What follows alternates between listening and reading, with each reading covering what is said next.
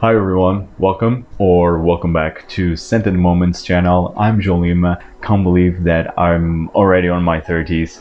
But well, in order to celebrate that, I want to talk about 15 fragrances that will make you stand out in a crowd. These fragrances, uh, at least that happens with me.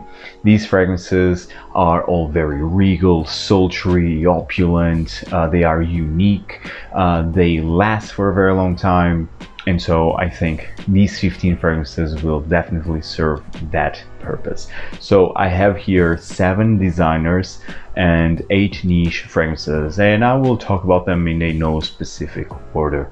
So let's start with the designer side and I have here I consider this my favorite designer fragrance ever. It is from the house of Dior and it is Dior Homme Parfum this one right here. Uh, this is the old bottle formula uh, presentation, but the new 100 ml bottle size, it's still the same. I mean, at least it's what I hear. Uh, I don't know, I still didn't try the new bottle presentation, the new 100 ml of Homme Parfum, but I already read in forums, Facebook groups, and even already heard opinions that actually it's the same formula. The opening it's a bit different but in the end it's the same scent and lasts as well for a very long time. So i happy i'm happy uh, to to know that. Um, i still need to try for myself but at least the feedback that i already got is quite positive. So talking about this fragrance specifically if you want to stand out in the crowd i will definitely uh, suggest Homme Parfum Homme Parfum is wow. exactly, is wow. So you have iris, um, but it's not as makeupy nor as sweet as in uh, Homme and Homme Intense. It's still butchery, it still has a makeup nuance, but it's more toned down because then you have the rose and the leather has the most prominent uh, notes followed by cedarwood. People say, some people say that this also has oud. I never detect any oud in here, but I can say that this is a masterpiece, at least in my opinion, of course. So the first fragrance, and this lasts for a very long time. Um, I already received so many good feedback with this one. Uh, but actually, that's another thing that I want to mention. Uh, to stand out in the crowd doesn't mean that you will receive good feedback. Um, actually, with all of these fragrances, except one or another that I still didn't try, like in the crowd uh, with my friends. Um, but except for one or another, uh, the others actually I received good feedback. But doesn't necessarily mean that you will get good feedback because these fragrances are a bit challenging and daring, and quite unique and different from what is in the mainstream market. So doesn't mean that you will get good feedback, but still, with this one, my experience is very positive. It's the first one is Homme Parfum. Highly advise you to check this one out. This for me is definitely a must-have. Now, the next fragrance that I want to mention is from the house of Mugler, and this is a classic released in 1996, if I'm not mistaken. Uh, this is A*Men, the original. So, A*Men, the original is amazing. This was a groundbreaking release back in the 90s, uh, and I think to this day it's still groundbreaking. Uh, you still have a lot of fragrances that are inspired by the Sentiene. First one that comes to my mind is by Kilian. Um, now I'm forgetting the name. It's by Kilian something. That it's not Black Phantom. It's intoxicated. Uh, it's intoxicated from by Kilian. That it's it's quite similar to this one. Of course, people say that it's a superior fragrance because it's more expensive and it's niche. Well, okay, I can I can give you that, but I still think that this is better, in my opinion. Um, this has the rough edges. This has, yes, this is a bit synthetic and that might turn people off, but I really do enjoy that. And you have still coffee in here, you have uh, patchouli, like this earthy, chocolatey patchouli. The, the coffee here gives gourmand qualities. Um, this has also a tar nuance in here and that also is a factor that turn off people with this one but i think this for me it's borderline a masterpiece also. This was an innovation in the masculine fragrances back then. I mean this is the first gourmand fragrance um, and especially in the more masculine uh, side of things. So I think this, to this day, I think it's still a must-have. This fragrance is a must-have, uh, especially if you love perfumes. This is definitely a must-have. Yes, again, might be a bit synthetic, but I still absolutely love this, and you will definitely stand out in the crowd because again, you don't have a lot of fragrances, especially in the designer side, that smell like this. More niche, yes, but designers, not at all. Um, and this is still fairly unique and if you love gourmand fragrances, if you love patchouli, if you love masculine, give this one a shot. Even if you already tried on the tester strip, test this, test this fragrance on your skin. A lot of people say that this now with the L'Oreal um, umbrella, this now it's more weak in performance and in the, as an overall scent, but still just give this one a try. I absolutely love this. The other fragrances that I could mention, like Pure Malt, Pure Havane, Pure Wood, Pure Tonka, you name it, all the fantastic flankers of this line. I could mention them, but they are very hard to come by nowadays. And I don't know what the strategy of L'Oreal for Mugler at this moment. This is the most uh, readily available and it's quite affordable in the online discounters 100ml bottle size like this so Again, if you want to stand out, check this one out. It is A*Men, the original from Mugler. The next fragrance that I have here is from the house of Lalique, and it is Lalique Encre Noire à l'extrême. This is one of the very best vetiver fragrances out there, especially in the designer side of things. Actually, this whole line, the Encre Noire line, is a masterpiece through and through. Um, but this is my favorite of the three because this is the most complex and this has that resinous, smoky, dry nuance that I absolutely love in fragrances.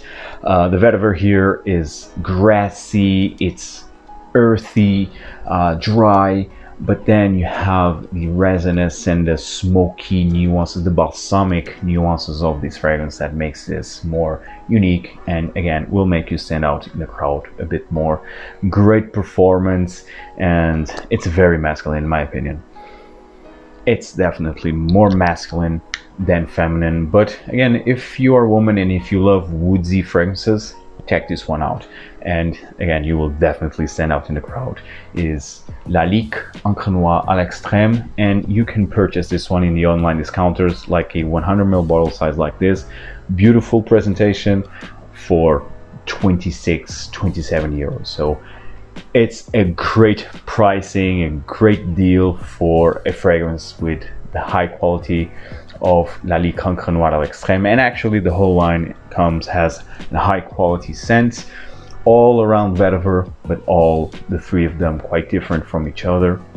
And again, this one is my favorite because the balsamic, resinous, uh, dry nuances. Lalique Encre Noire à l'extrême, this one will definitely make you stand out in the crowd. The next fragrance that I want to talk about is from House of Gucci and it is Gucci Guilty Absolute.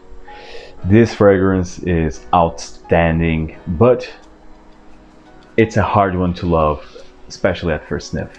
Uh, because definitely for me, this was not love at first sniff, and I definitely see why people don't enjoy this, and actually I understand why this was not very successful uh, in sales, and that's the reason why this is or this will be discontinued, unfortunately.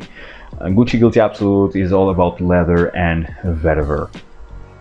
This is very dry. This doesn't have any sweet edges whatsoever. It's very masculine, very raw, very industrial. This has like an industrial leather accord, uh, and that comes across like band-aids, and that's why people might be turned off with this fragrance and, and, actually that was the reason why I didn't enjoy this fragrance at first now I absolutely love this this is a true niche fragrance Um, this is a bit synthetic, yes, but when I say niche fragrances, I'm talking about the uniqueness. I'm talking about uh, the sultry nuances of this fragrance. I'm talking about the originality of uh, Gucci Guilty Absolute, and that's why this for me comes across as a more niche than designer. Uh, and well, because of that, this will be discontinued. Um, unfortunately, again, this fragrance is wow, out of this world. I love this. If you love leathers, check this one out. It's very rugged, very raw, very masculine. It's mature. But if you love this type of scent, try this one out. This is this fragrance is like a revenge of the 80s type of scent. Uh, it's not very common that you see designer fragrances, designer houses release this type of scents nowadays. Again, unfortunately, and that's why this didn't succeed. But it's still an outstanding scent. It's still a fragrance that will definitely make you stand out. Um, again, a great fragrance for the upcoming winter time. Uh, for the fall time as well, it's great.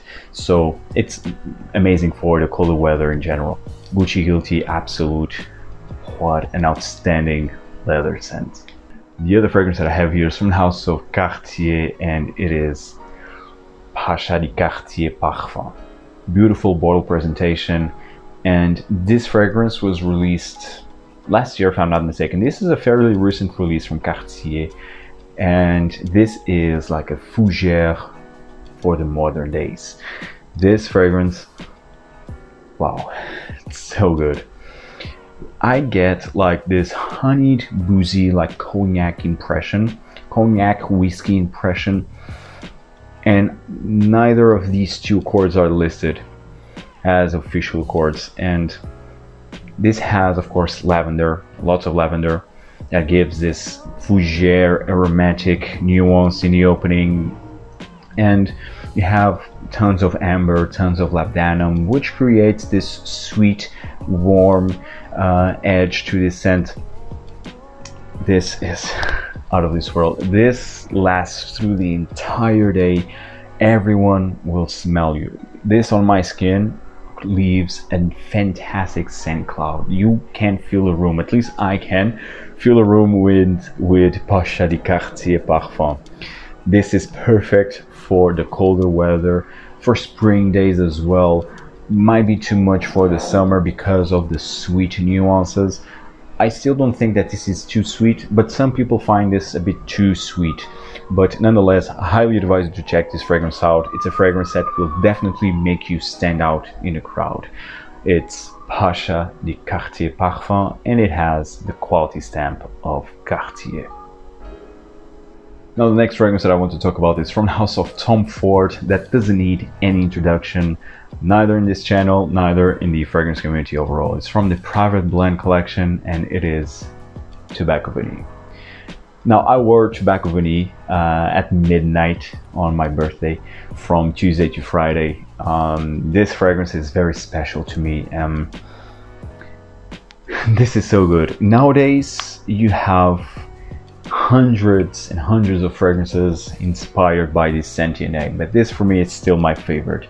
This is an original release of the Private Blend back in 20, um, 2007, uh, if I'm not mistaken, and it, Tom Ford released the Private Blend collection back then with seven fragrances. Uh, this one was one of them, Tobacco Vanille. Then you had Tom Ford's uh, Noir de Noir, Oud Wood, Japon Noir, and a couple of others.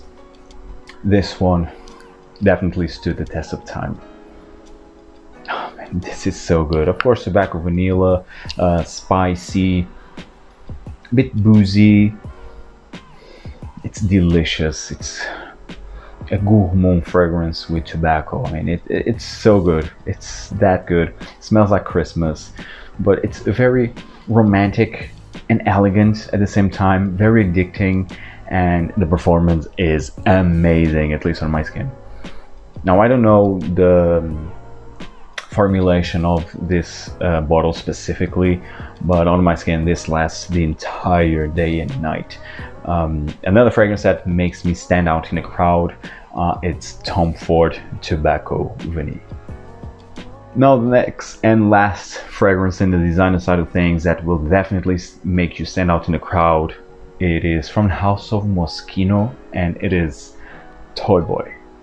Now, it's not only because of the bottle presentation, but it's of course because of the scent DNA. I already did a review of this one, and um, this fragrance for me was not love at first sniff because I just tested this in the tester strip before, and this on paper doesn't smell very pleasant. On my skin, is amazing. This is all about pear, rose, and it has like a faux leather impression. It's amazing. Uh, it's very unique. Um, the rose here, it's a bit jammy. And this is a playful fragrance because of the sweet pear. Uh, but the rose give also a more serious, mature edge, and you have this like plasticky leather that overall creates a very unique, makes this a very unique scent in the end. Great performance, and again, it's a fragrance that I really advise you to check uh, to check it out. Um, this is very affordable in the online discounters. After all, it's a Moschino and if you want just a fragrance to go to a night out situation to formal events even i think this will work wonderfully. Um, it's a fantastic scent and also it's good for date night scenarios i feel. So i think this fragrance might not be the most natural smelling scent not at all but it served its purpose in the originality, uh, even in the blend itself. Uh, I think this is a a fantastic designer release, one of the best designer releases in the last couple of years, definitely. It's Toy Boy from Moschino. Now let's talk about the niche fragrances. I have here eight fragrances, and the first one is from the house of Frederic Malle, and it is Promise oh, you will definitely stand out with this one. This is nuclear in terms of performance, uh, and in terms of scent character, it's equally amazing. Oh, this is breathtaking. It's so good. You have apple in here, and it's for me the best apple accord that I ever smelled. Maybe tied up with La Danza della Libellula, with uh, that was it's from the Nobile 1942. Uh, it's an Italian house. I definitely need to purchase a couple of their fragrances. But well, talking about Promise, a fantastic apple accordion here. It's so good.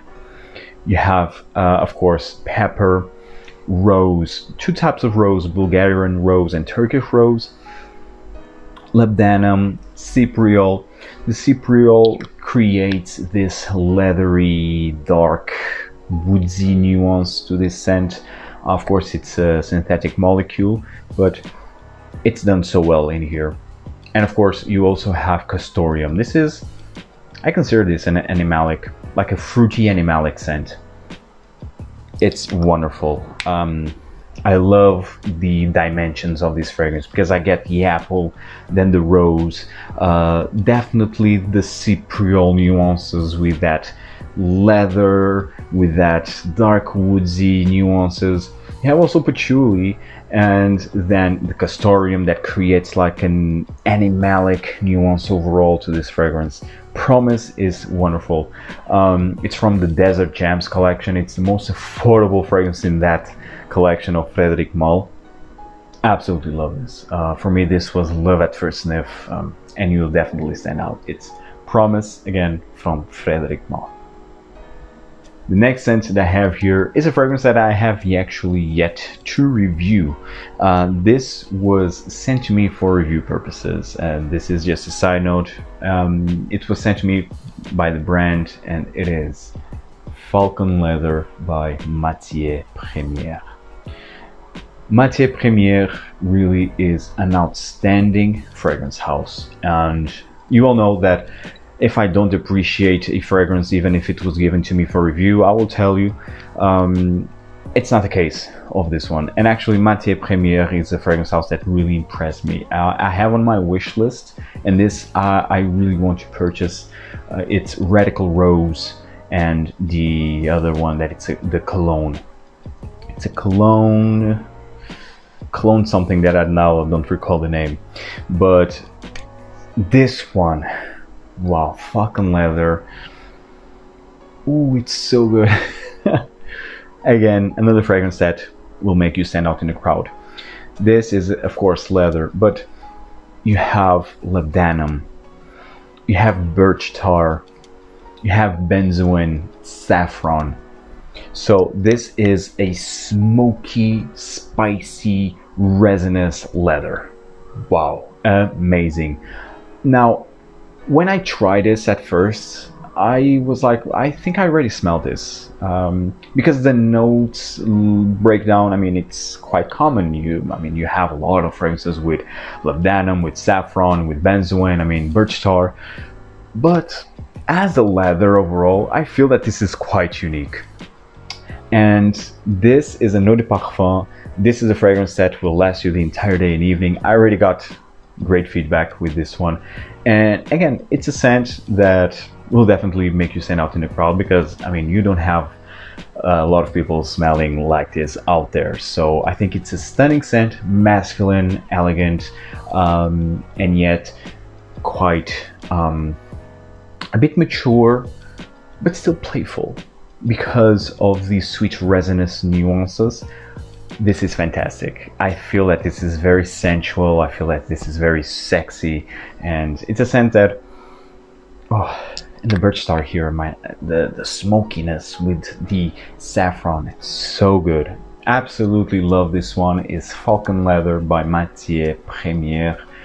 Another parfum concentration, and again, it's a scent that will make you stand out. Now the next fragrance that I have here is from the House of Guerlain from the Absolu d'Orient collection, and it is Bois Mystérieux.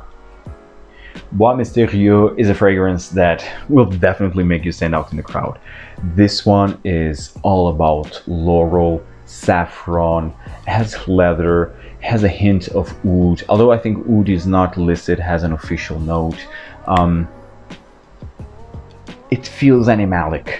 I think this has like civet or castoreum. It's amazing. It's spicy, it's aromatic it's heavy, it's dark, but it's not too heavy. It's wonderful. It's so good. Um, Bois Mystérieux, it's one of the very best fragrances from Guerlain. This used to be Songe d'un Bois d'été. Um, now it's Bois Mystérieux. Smells the same, at least for me. I already smelled both, and for me, they smell the same. But Bois Mystérieux, it's a masterpiece in my opinion and the performance is amazing. Very dark, very mysterious and sensual, masculine fragrance that it's a must try. Is Bois Mystérieux from Guerlain. The next fragrance that I have here is from the house of Profumum Roma. Of course, Profumum Roma needed to be featured here, and it is Patchouli. The best patchouli out there in my opinion. My favorite patchouli of course. Uh, this is all about patchouli like a full-on earthy chocolatey patchouli that is simply to die for.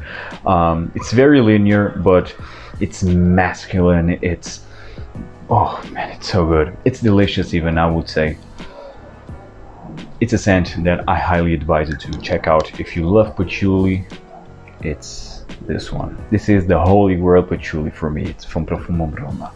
Fantastic performance, lasts the entire day, and will make you stand out in the crowd. The next scent that I have here is from House of Amouage. And again, Amouage is a fragrance house that needed to be featured here. Uh, and it is Jubilation 25. And you can see how much I already wore this. Um, this is a favorite of mine. Um, one of the it's in the top three favorite fragrances from Amouage, definitely. This is sultry, this is elegant, it's just so good.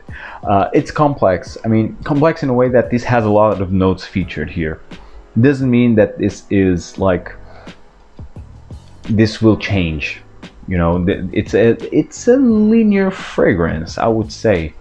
I mean, it's not as linear as a Profumum Roma fragrance, but still.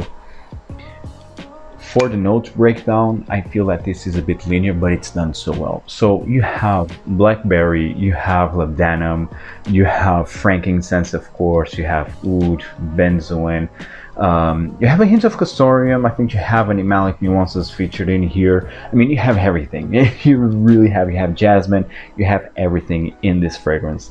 Uh, this was created by Bertrand Duchaufour, which again doesn't need any introduction. This is an outstanding scent. Um, the blackberry here is very prominent. It's very realistic, actually. It's very fruity, berry, juicy and with the frankincense, with benzoin, with labdanum, with oud. I mean, this, all of this sentient, amazing. It's magic, magic in a bottle. And again, no one will smell like this. And I mean, seriously, just the look of this beautiful bottle presentation will just transmit the message that you want to stand out, you want people to notice you, and they will notice you with Jubilation 25 from Amouage. Now the next fragrance that I have here is from the House of Xerjoff and I could have mentioned a lot of fragrances from Xerjoff but I wanted to feature it because it's a favorite of mine from this house. Al-Khatt. Al-Khatt is all about oud and jasmine. This is quite animalic, uh, it's very indolic. The jasmine here is very prominent and it's even the jasmine that creates this more animalic nuance to this scent. Of course, the oud here, the oud here it's a bit sweet, um, but it helps to enhance the animalic qualities of this fragrance.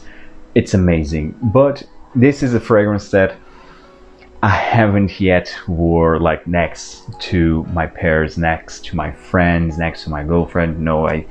So I don't know how their reaction will be, but I'm sure that for the better or worse, I will stand out. No one will smell like this. it's incredible. I absolutely love this scent. Uh, for me, it's addicting. For me, it's so sexy. Um, it's sexual even because of the animalic nuances. Um, I absolutely love this one, and it has a sweet edge uh, in here. So this is one of the best fragrances from Xerjoff. Quite unique, although if you haven't smelled this one, I would say that this the jasmine in here kinda kinda resembles to Mugler Alien for a woman. Um, it's the closest jasmine that I could mention for you to have a reference, of course. Uh, it's a stunning scent, this one, nonetheless. Uh, high quality fragrance, quite unique. Um, and again, one of the best from Xerjoff. It's Al-Khatt, and although I still don't know how it, how the reactions will be, but I definitely know that this will make me and will make you stand out in the crowd. The next fragrance that I have here is from House of Tiziana Terenzi, and I wanted to feature like an rose oud scent, and this is for me the best or one of the best in this genre. It is Gold Rose Oud. Beautiful bottle presentation. Um, this scent is, of course, all about rose and oud, but with rose being a bit more prominent than the, than the oud, and the quality of this scent is amazing. Um, the rose here, it feels very natural, a very full-on red rose.